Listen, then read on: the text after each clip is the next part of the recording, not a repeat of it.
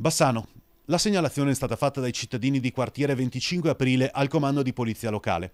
Quella macchina, una Mercedes grigia con targa tedesca, era ferma sullo stesso stallo da troppo tempo. I cittadini ci hanno visto giusto.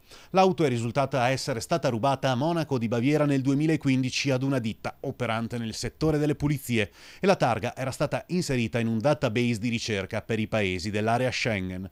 È stata immediatamente sequestrata.